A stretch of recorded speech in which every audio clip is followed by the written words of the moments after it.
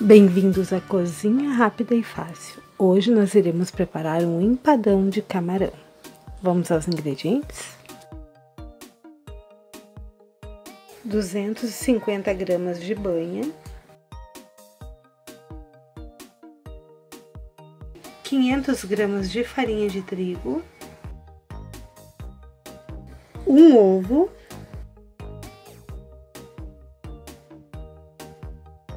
e uma colher de chá de sal. Vamos preparar colocando num bol a farinha, o sal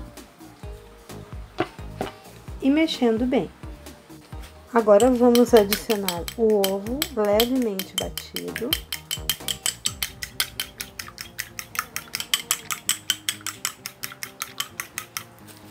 E a banha, que pode ser substituída por gordura vegetal ou manteiga sem sal. Também, quem quiser pode usar margarina.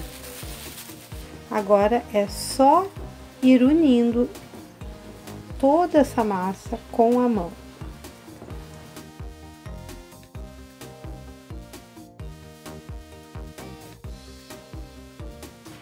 A massa vai estar pronta quando vocês conseguirem formar com ela uma bola. Agora é só levar à geladeira por 15 minutos em um saco plástico.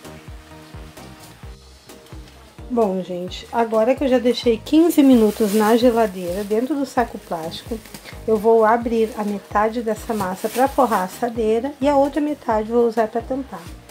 Já preparei aqui um recheio cremoso de camarão, mas eu não mostrei para vocês que eu tinha ficado com o celular sem bateria, gente. Mas é bem fácil. Fritei a cebola, tomate, refoguei o camarãozinho. Aí juntei uma colher de sopa de farinha de trigo e meia xícara de água, deixei engrossar. Depois juntei temperinho verde, ó, e tá assim. Antes de colocar no empadão, eu vou colocar cream cheese. Podem colocar requeijão também. Essa forma aqui com fundo removível é do parada da panela muito boa, porque na hora de desenformar vai facilitar bastante. Então, eu recomendo fazer em uma forma assim. E este rolo também é de lá. Aliás, quase tudo que eu uso aqui é lá. Sou apaixonada por essa loja.